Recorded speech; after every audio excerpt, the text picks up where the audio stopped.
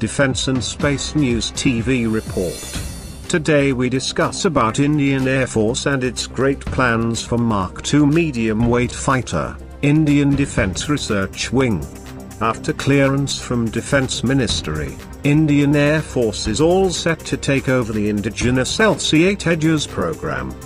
But Tejas Mk1 and Mk1A program are far more advanced in their product development that Air Force has little control to make any radical changes to the program other than fine-tuning current arrangements and supply lines, so that the current production rate can be improved in next few years.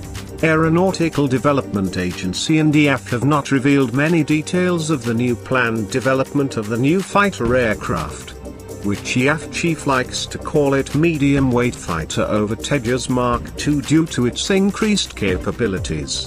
But IAF is already taking control of the program and it is pretty impressive.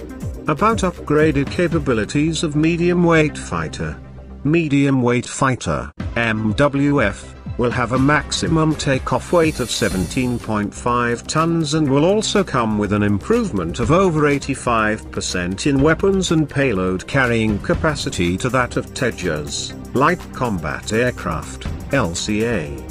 MWF will be powered by a single GE414 in engine which can generate around 98 knots thrust levels which are pretty high for a fighter in its class buzz around is that whole idea behind the enhanced development of a new fighter was the brainchild of high-ranking officials of IAF who were pretty concerned with delays associated with the purchase of new fighter aircraft from foreign countries and ADA tagged along in its development.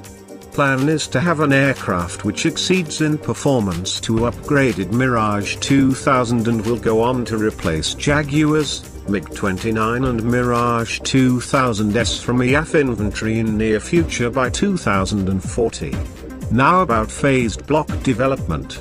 To keep MWF technical modern in an era of 5th generation aircraft, IAF is planning to give later blocks, 5th generation upgrades from the AMCA program since IAF has a requirement for over 200 MWF and block development stages are been planned keeping in mind future technologies.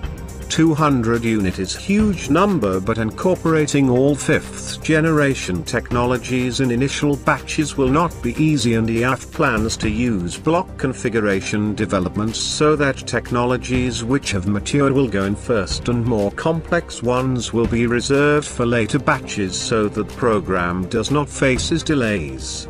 Next. Clean slate design, MWF is not likely to have a clean slate design but will come with advanced composite materials which will enhance its low technology, low observable, but it won't be a pure stealth aircraft like F-35 or F-22.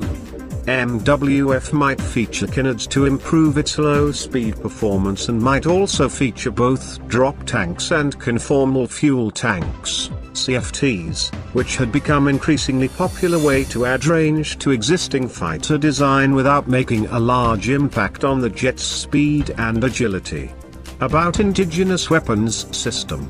MWF will have more indigenously developed aerial weapons system which will reduce need for imported weapons considerably. MWF will feature Astrobram and its successor from the word go and will come with other air-to-ground weapons systems like SAW, GAM and BrahMos NG. Now about private production.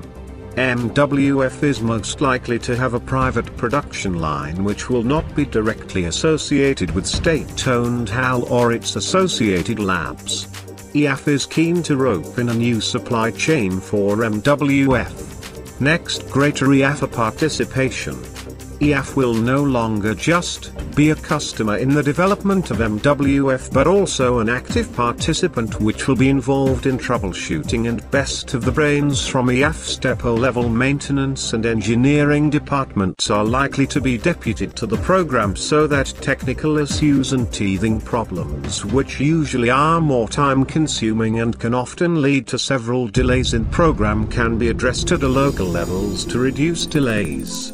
Thanks for watching. Do sub